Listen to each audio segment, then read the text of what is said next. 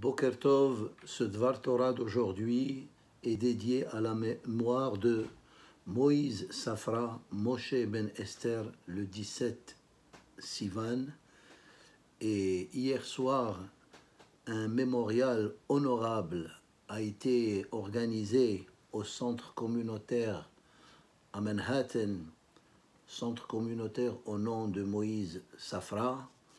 Et dans ce mémorial d'hier soir, plusieurs témoignages de différents interlocuteurs, rabbins et amis et membres de la famille, incluant sa femme, Tizacher Letov Shela Safra, ont fait des témoignages extraordinaires par rapport à Moïse Safra, qui était un grand, grand, grand philanthropiste de Tzedaka à travers le monde.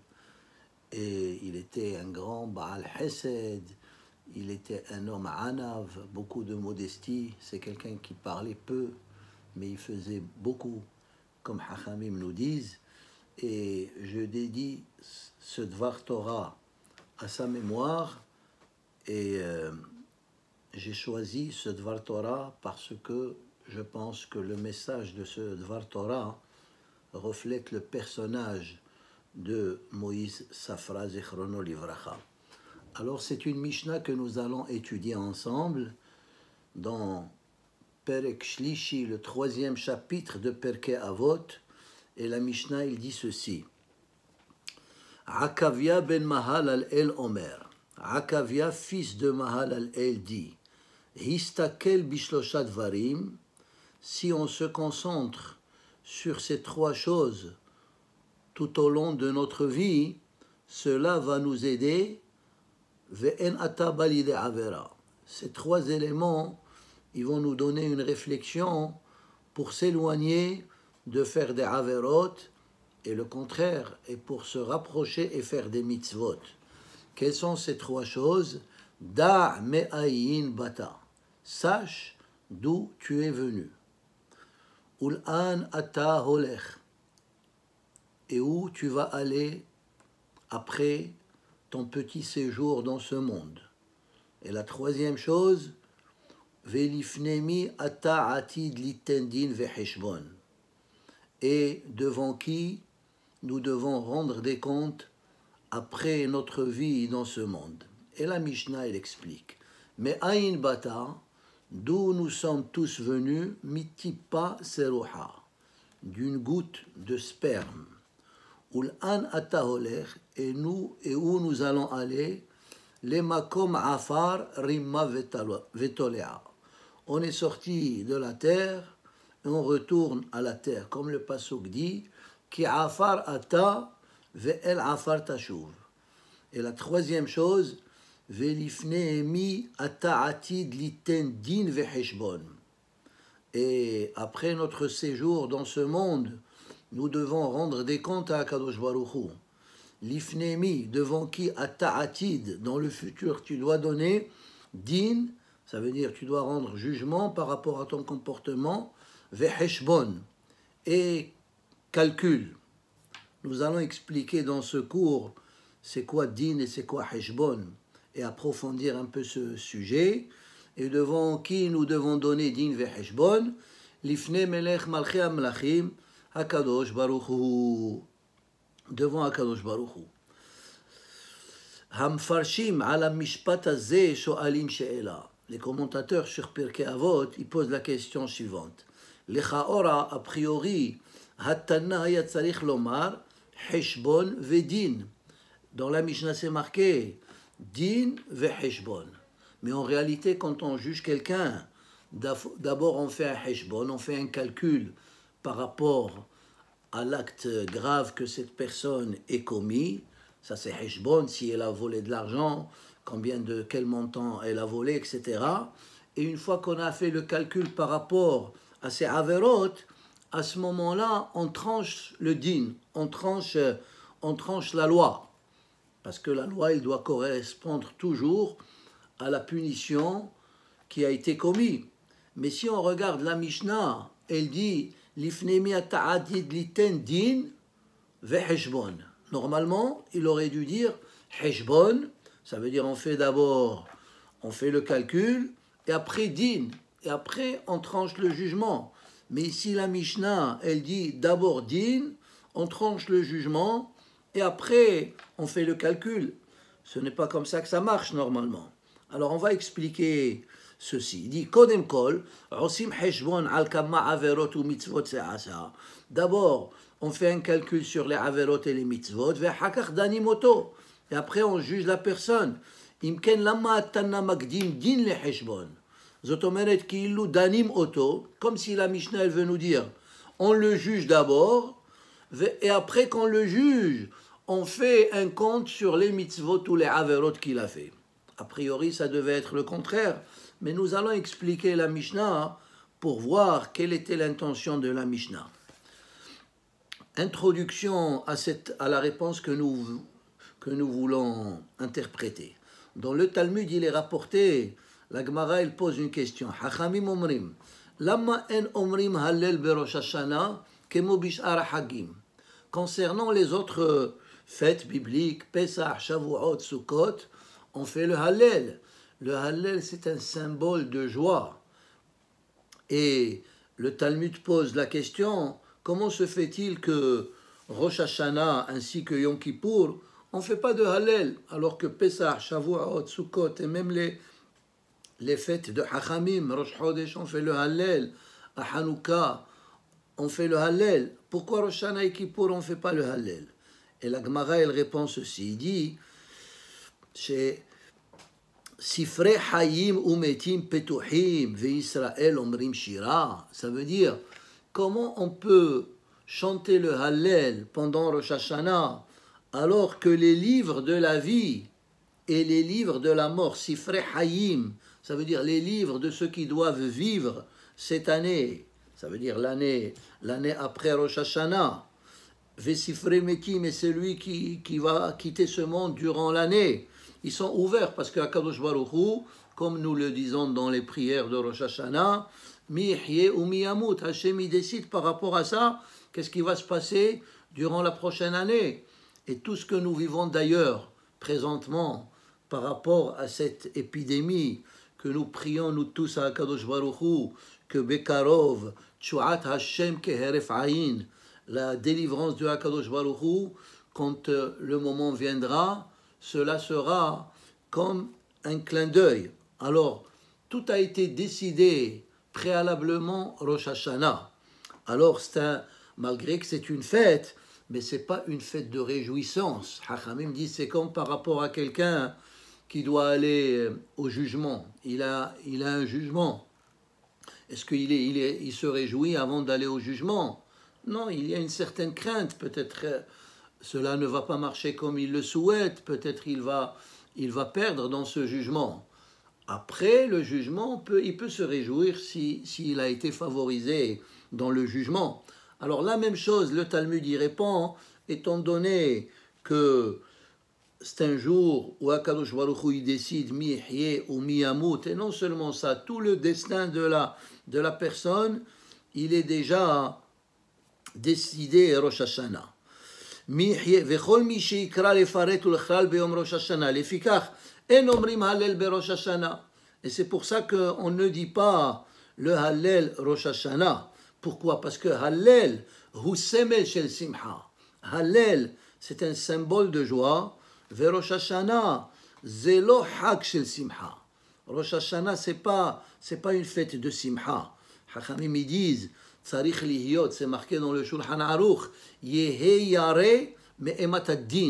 L'homme, il doit craindre la sévérité du jugement de Rosh Hashanah. D'ailleurs, qu'est-ce qu'on fait Rosh Hashanah? On passe la majorité de la journée à la synagogue. On prie toute la matinée, on vient à la maison, une heure, deux heures de l'après-midi, on mange quelque chose, après on doit lire Teilim, au moins la moitié du Teilim le premier jour, et la moitié du Teilim le deuxième jour, ou bien il y a ceux qui le lisent tout le Teilim le premier jour et tout le Teilim le deuxième jour, parce que le Teilim, c'est le symbole pour la kapara, pour le pardon. D'ailleurs, dans les Mizmorim de Teilim, David Amelech, il a écrit 150 Mizmorim, Kufnun. Kufnun et Kufnun, 150 et 150, ça fait 300. 300, c'est la valeur numérique de Kaper. Kaper veut dire kapara, le pardon. Kaper, P, Kaf, P, Resh. Resh 200, P 80 et Kaf, ça fait 20, ça fait 300. C'est l'équivalent des 150 mismorim que nous devons, que c'est une bonne chose de lire. Comme ça, Kadosh Baruch il va nous donner la kapara. Et c'est marqué dans le Shulchan Aruch, le jour de Rosh Hashanah, c'est un jour très très sérieux. À Sukkot, on parce qu'on est confiant que Akadosh Baruch il nous a écrit dans le livre de la vie Rosh Hashanah, et Yom Kippur il a été signé, et Rosh Hashanah il a été finalisé, et Sukkot Vesa Mahta on se réjouit avec Akadosh Baruch Hagaon Rabbi Haim Ivologen, un grand Gaon, s'appelle Rav Haim Ivologen, qui était l'élève du Gaon de Vilna.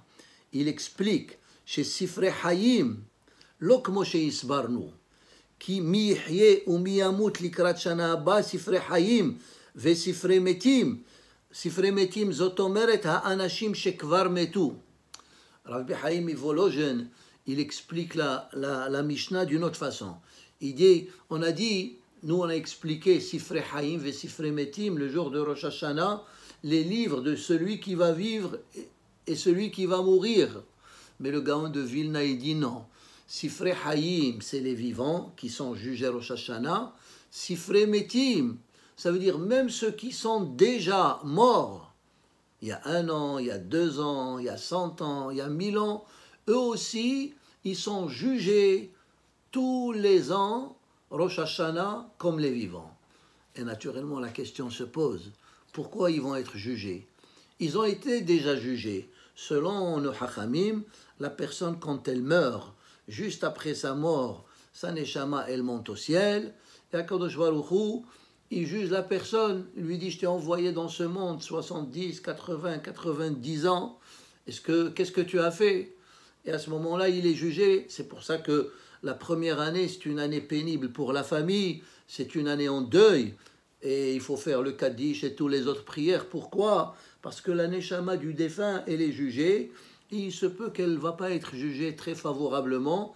Alors pour apaiser la souffrance de la Neshama, de son père ou de sa mère ou de sa femme ou de son mari, quelqu'un qui est décédé, alors on fait les prières. Alors, Rav Haïm il dit que même les morts, alors la première année on le juge, mais après la première année la personne elle n'est plus, normalement on comprend, il n'y a plus de jugement une fois qu'il a, il a été fait. Mais Rav Haïm il dit, il dit un concept important, que la personne, même après son décès, elle est jugée par rapport à l'influence qu'elle a laissée durant sa vie. Et si par exemple c'était une personne qui faisait beaucoup de mitzvot, et il a construit une institution, et cette institution, elle continue d'exister. Alors tous les mitzvot qui se font dans cette institution, ou autres, celui qui a initié l'idée, il a le sahar aussi, par rapport à ce qui se passe dans cette institution. Pourquoi? Parce que c'est lui qui l'a, qui l'a initié. Alors, on explique. Hachamim masbirim. Chez Kol Adam Bahayim, chaque personne de son vivant, Maniach Roshem, il laisse des traces, Vehashpa'a, et une certaine influence, Letova ou pour le bien ou pour le mal. Vehashpa'a zot nimshechet, gam shehu met min ha'olam. Et cette hashpa'a, elle continue, même une fois que cette personne, elle a quitté le monde. Les dogmas. Adam met ve'iniyah banim tovim ba'olam. Quelqu'un, il a quitté ce monde, il laisse une bonne famille, des bons enfants. Ils suivent le bon chemin qu'il leur a tracé. Alors non seulement eux, ils sont récompensés pour les mitzvot qu'ils font, il,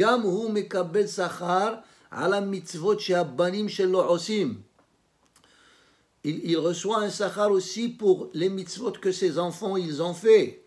Ou bien Adam Ashir, quelqu'un qui était prospère chez Aya Baal Tzedaka, quelqu'un qui était un grand Baal Tzedaka, Ubana Eze Mossad Shel Hesed, il a bâti un Mossad, de, de, une institution de bienfaisance, Azbashamaim, comme le cas de Moïse Safra, plusieurs institutions et plusieurs synagogues et Batemedrash, c'est lui qui a initié l'idée et c'est lui qui aide par rapport au financement de ces institutions. Justement, hier, une histoire elle a été racontée par un rabbin, une famille qui est venue chez lui, qui était en détresse, euh, ils étaient euh, dans la pauvreté, euh, plusieurs enfants, et ils n'ont pas de quoi se nourrir. Ce rabbin, il a appelé Moïse Safra Zichrono Livracha, et Moïse Safra, une fois qu'il a bien compris le cas, il a dit à ce rabbin, à partir d'aujourd'hui, cette famille, elle est sous ma responsabilité. Et effectivement, pendant tout au long de leur vie de cette famille, hein, Moïse Safra, il les finançait, et non seulement eux, quand leurs enfants devaient se marier, il les a mariés, etc. Alors ça, c'est une mitzvah extraordinaire. Mais non seulement la mitzvah que Moïse il a fait, mais tous les mitzvot que cette famille ont fait, ils sont attribués à celui qui a initié l'idée. Et c'est pour ça que Hachamim disent Kol hamatzil nefesh ahat me keillu hitzil olam. Tout celui qui sauve une âme de Ham Israël, comme s'il a sauvé un monde entier. Pourquoi? Parce que de cette âme, euh, il y aura une famille, et de cette famille, il y aura plusieurs autres familles, etc., etc. Et tous les mitzvot, et tous les mitzvot, ils sont attribués à celui qui a initié l'idée. Et c'est pour ça que Hachamim ils disent Tzadikim bemitatam, keruim hayim. Les tzadikim, même une fois qu'ils ont quitté ce monde, ils sont considérés vivants. Pourquoi? Parce que en hayim est la Torah. La vraie vie, c'est l'accomplissement des mitzvot et l'étude et l'étude de la Torah. Et même après son décès, étant donné que des mitzvot qui se font grâce à lui, alors, comme si lui, il est encore vivant, c'est pour ça que Hachamim disent que tzadikim bemitatam, keruim hayim, par rapport aux bonnes actions que, qui se font grâce à cette personne, malgré que cette personne, elle n'est plus dans ce monde, mais dans l'autre monde, elle est, elle est récompensée par rapport à ces mitzvot-là. Maintenant, revenons à notre question de départ. On a dit, normalement, il aurait dû dire, la Mishnah, devant qui on doit rendre euh, des jugements, devant Akadosh Baruch Hu. Mais la Mishnah dit din, jugement, veheshbon. Et après, on calcule. Et on a posé la question, d'abord il faut calculer les mitzvot et les averot, et après on fait un jugement. Pourquoi ici on dit din veheshbon alors l'explication est, la suivante. Din zotomeret dani meta adam bashana rishona al kol Din, c'est la première année, comme on a dit, la première étape du jugement de la personne une fois qu'elle quitte ce monde, c'est elle est jugée dans ce monde, et quand elle est jugée, ils font les calculs, etc. Mais Heshbon, c'est après la première année. Après la première année, on fait un jugement par rapport aux mitzvot que cette personne elle a initié, et malgré que cette personne elle a quitté le monde, mais on fait de Heshbon de tous les mitzvot qui continuent grâce à cette personne, et par rapport à ça, la Neshama du défunt, elle est jugée favorablement, et, et, et sa elle est rehaussée, ce qu'on appelle en hébreu Ilou, c'est pour ça qu'on dit Ilou Inishmat. Sa Neshama, elle est élevée, parce que même une fois qu'il a quitté ce monde, il y a des mitzvot qui se font euh, euh, bisruto grâce à lui. Et c'est pour ça que le Talmud, alors c'est ça la réponse, din veheshbon. La première année c'est din, on le juge sur ce qu'il a fait dans ce monde. Heshbon, c'est tous les ans. Et ça c'est même les tzadikim qui ont quitté le monde il y a 100 ans, il y a 1000 ans, même Avraham Avinu, même Yitzhak, on peut aller jusqu'à Avraham Avinu, tous les mitzvot que nous, nous faisons, c'est grâce à, Avraham, Yitzhak et Yaakov qui sont les piliers du judaïsme. Et c'est pour ça que le Talmud, il dit, Haben kar'ade les enfants, ils sont comme les pieds des parents. Qu'est-ce que cela veut dire? Cela veut dire euh, par rapport à quoi l'être humain il avance ou il recule, c'est par rapport à ses pieds. Mais le Talmud ici, il le dit dans un sens plus profond. La personne, quand elle quitte ce monde, les enfants, ils sont les pieds des parents. Ça veut dire que la personne, quand elle quitte ce monde, elle ne peut plus avancer, elle ne peut plus reculer. Mais elle peut avancer et reculer. Tout d'abord, comme on a dit, par rapport aux mitzvot qu'elle a laissés dans ce monde, et ces mitzvot continuent, mais elle peut avancer aussi par rapport aux enfants. Les enfants, ils peuvent faire avancer, la, spirituellement parlant, la neshama de leurs parents, ou, hasve shalom, ça peut être le contraire. Et comme nous avons écouté hier, la famille Baruch Hashem, la famille Safra, et sa femme Tizachel Letov Shela Safra, ils continuent ce qui a été établi par Moïse Safra, Zichrono Livracha. Et c'est ça, Ben Kar'a de Les enfants, c'est les pieds, les pieds spirituels des parents.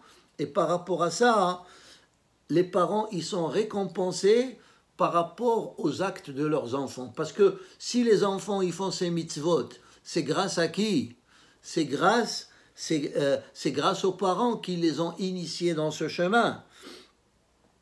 Alors, selon ce concept que nous disons, ça veut dire que l'être humain, et c'est ça le message d'aujourd'hui, je conclus avec ça, c'est que l'être humain, après qu'il quitte ce monde, selon le Hiddouche de Rav Haïm l'être humain, il est jugé toute sa vie.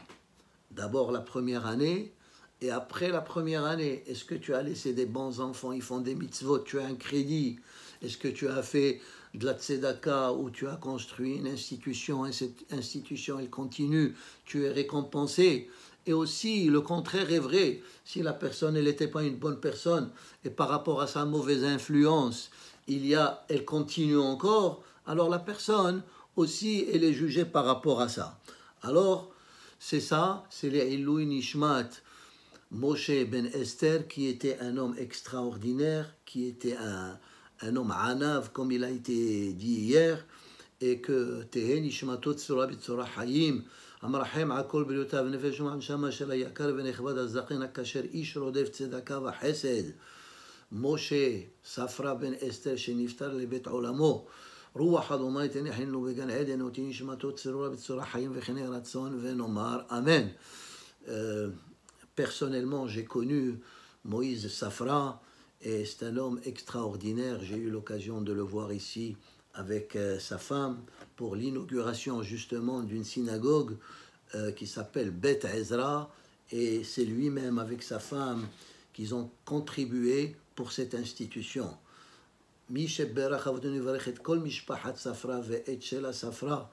ואת אלי כהן ואת כל משפחת כהן ומשפחת ספרא, השם ישמריהם ויחייהם וירך ימיהם בתורשותיהם בנעימים.